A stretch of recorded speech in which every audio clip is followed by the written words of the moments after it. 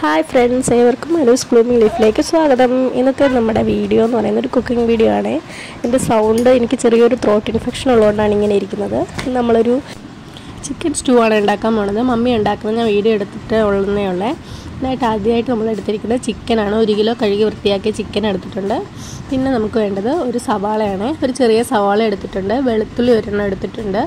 ഇഞ്ചി ഒരു വലിയ കഷ്ണം ഇഞ്ചി എടുത്തിട്ടുണ്ട്. ഒരു പച്ചമുളകും വേണേ. ഒരു പച്ചമുളക് അല്ല പത്ത് പച്ചമുളക്. പിന്നെ ഒരു അഞ്ച് ഏലക്കയും ഒരു പട്ടയും എടുത്തിട്ടുണ്ട്. പിന്നെ ഇത് ക്യാരറ്റും ഉരുളക്കിഴങ്ങും കൂടെ വേവിച്ച് വെച്ചിരിക്കുന്നതാണ്. പിന്നെ ഒരു തക്കാളിയുടെ പകുതി നമ്മൾ അരിഞ്ഞ് മാറ്റി വെക്കണം. ബാക്കി പകുതി ഇത് പകുതിയാണ്. ബാക്കി പകുതിയുടെ കാര്യം ഞാൻ പറഞ്ഞുതരാവേ പിന്നെ മല്ലിയില പിന്നെ തേങ്ങാപ്പാലാണ് വേണ്ടത്. ഇത് രണ്ടാം പാലാണ് ഇത് ഒന്നാം പാലാണ്. പിന്നെ നമ്മൾ ഒരു ചട്ടി വെക്കുക. ചട്ടി ചൂടായി കഴിയുമ്പം എണ്ണ ഒഴിക്കുക. ഒരു നൂറ് എം എൽ എണ്ണ ഒഴിച്ച് കടുക് ഇട്ട് കൊടുക്കുക. കടുക് ഒന്ന് പൊട്ടി കഴിയുമ്പോഴത്തേനും നമ്മൾ എടുത്തു വെച്ചിരിക്കുന്ന പട്ടയും ഏലക്കയും പിന്നെ നമ്മുടെ തക്കോലുണ്ട് തക്കോലുണ്ട് എന്റെ അടുത്ത് ഇല്ലാന്നിട്ടാണ് ഇടാഞ്ഞത്. അതുകൊണ്ട് ഇട്ട് അതൊന്ന് മൂത്ത് വരുമ്പോഴത്തേനും നമ്മുടെ ഇഞ്ചി വെളുത്തുള്ളി പച്ചമുളകും ഒരു പത്ത് പച്ചമുളക് നമ്മുടെ എരിവിനനുസരിച്ച് പച്ചമുളക് എടുക്കാവേ. അതെല്ലാം കൂടി ഇട്ട് നന്നായിട്ടൊന്ന് വഴറ്റി കൊടുക്കുക. ഇതിനകത്ത് നമ്മൾ മുളക് പൊടി ഒന്നും എക്സ്ട്രാ ഇടുന്നില്ല മുളകിന്റെ എരിവേ വരത്തുള്ളേ. പച്ചമുളകിന്റെ എരിവ് മാത്രമേ വരത്തുള്ളൂ. നന്നായിട്ടൊന്ന് മൂത്ത് വരുമ്പോഴത്തേന് അത്യാവശ്യം ഒന്ന് മൂത്തിട്ടുണ്ട്. ഇത് ഇതിലേക്ക് നമുക്ക് ആ ഒരു തക്കാളിയുടെ പകുതിയും കൂടി ഇട്ട് കൊടുക്കാവേ. പകുതി ഇടുന്നുള്ളേ. ബാക്കി പകുതി ഇവിടെ ഇനി മാറ്റി വെച്ചിട്ടുണ്ടേ. ഒന്ന് നന്നായിട്ട് വഴറ്റിയെടുക്കാം ഇനി നമുക്ക്. ഒന്ന് വഴന്ന് വന്നു കഴിയുമ്പോഴത്തേനും നമുക്കിതിലേക്ക് രണ്ടര സ്പൂൺ മല്ലിപ്പൊടി ഇട്ട് കൊടുക്കാവേ.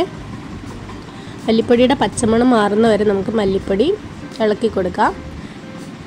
പിന്നെ ഒരു നുള്ള് കുരുമുളക് പൊടിയും കൂടി ഇട്ടിട്ടുണ്ട് ഇതിലേക്ക്. കുരുമുളക് പൊടിയൊക്കെ നമുക്ക് ആവശ്യം എരിവിനനുസരിച്ചാണ് ചേർക്കുന്നത്.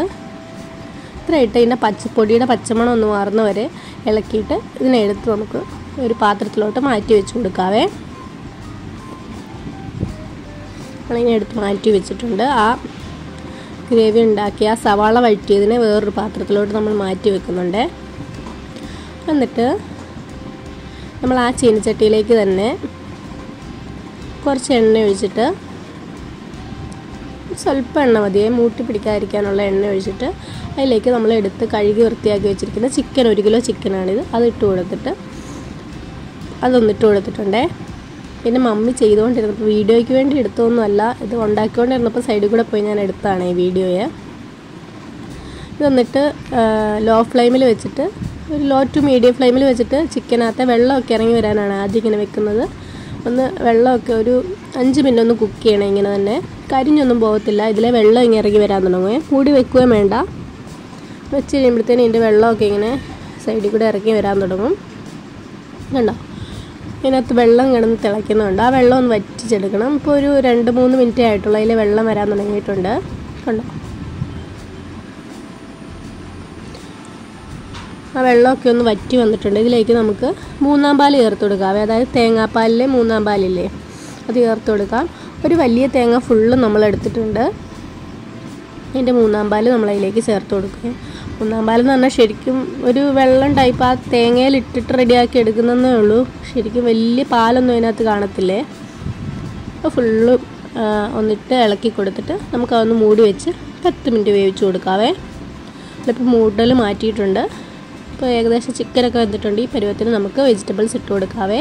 നമ്മൾ എടുത്തു വെച്ചിരുന്ന തക്കാളിയുടെ പകുതിയും വേവിച്ച് വെച്ചിരുന്ന ഒരു ക്യാരറ്റും ഒരു ഉരുളക്കിഴങ്ങും വേവിച്ച് വെച്ചിരുന്നതാണ് ഇത്. അത് നമ്മളിതിലേക്ക് ഇട്ട് കൊടുക്കുന്നുണ്ട്. ഇതൊന്ന് നമുക്ക് ഇളക്കാവേ. ഇനി നന്നായിട്ടൊന്ന് ഇളക്കിയെടുക്കാം. ശരിക്കും ആ വെള്ളം വെള്ളമല്ല മൂന്നാം പാലിൽ കിടന്ന് ചിക്കൻ വേകുകയും വേണം. അത് നന്നായിട്ടൊന്ന് വറ്റി വരികയും വേണേ.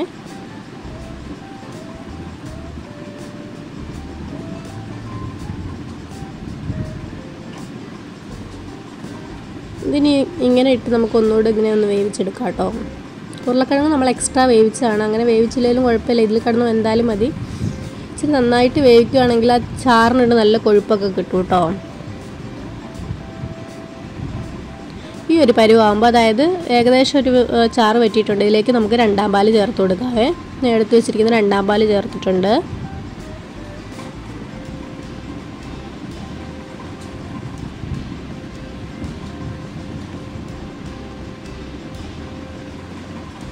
നമ്മൾ വെജിറ്റബിൾസ് ഇട്ട കൂടെ മസാല ഇട്ടിട്ടുണ്ടായിരുന്നു. എടുത്ത് മാറ്റി വെച്ചിരുന്ന മസാല അത് പറയാൻ മറന്നുപോയതാണ്.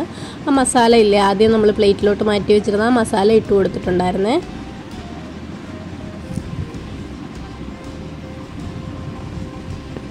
എന്നിട്ട് ഇത് നന്നായിട്ട് തിളയ്ക്കണം. തിളച്ചിട്ട് ഇതിലേക്ക് നമ്മൾ ഇച്ചിരി ഗരം മസാലയാണ് ഇപ്പോൾ ഇട്ട് കൊടുത്തത്. ഗരം മസാലയൊക്കെ ഇട്ട് കൊടുത്ത് നല്ല തിളച്ച് നമ്മുടെ കറി ഏകദേശമൊക്കെ ഒന്ന് റെഡി ആയി എടുത്തിട്ടുണ്ട് ഇനി നമുക്ക് ഉപ്പൊക്കെ പാകമാണോ നോക്കാം കേട്ടോ ഈ സമയത്ത്. ഉപ്പൊക്കെ കറക്റ്റായിരുന്നു കറി നന്നായി തിളയ്ക്കുന്നുണ്ട്. ഈ ഒരു തിള നിൽക്കുമ്പോൾ തന്നെ നമുക്ക് ഇതിലേക്ക് ഒന്നാം പാൽ ചേർത്ത് കൊടുക്കാവേ. ഒന്നാം പാൽ ചേർത്ത് കൊടുത്താൽ അധികം കിടന്ന് തിളയ്ക്കേണ്ട ആവശ്യമില്ല. അന്നേരത്തിന് നമുക്ക് ഓഫ് ചെയ്യാം കേട്ടോ. നമ്മൾ ഓഫ് ചെയ്തിട്ടുണ്ടേ. ഫ്ലെയിം ഓഫ് ചെയ്തിട്ടുണ്ട്. ഇതിലേക്ക് നമ്മൾ മല്ലിപ്പൊടിയും അല്ല മല്ലി ഇലയും കൂടെ ഇട്ടിട്ട് ഇട്ട് കൊടുത്തിട്ടുണ്ട്. നമ്മുടെ കറി റെഡി ആയിട്ടുണ്ട്. നമുക്ക് അപ്പത്തിന്റെ കൂടെയോ ഇടിയപ്പത്തിന്റെ കൂടെയോ ഒക്കെ നമുക്ക് കൂട്ടാം. എല്ലാവരും ഒന്ന് ട്രൈ ചെയ്ത് നോക്കിയിട്ട് അഭിപ്രായം പറയണേ. നല്ല ടേസ്റ്റാണ് സൂപ്പറാണ് thank you thank you for watching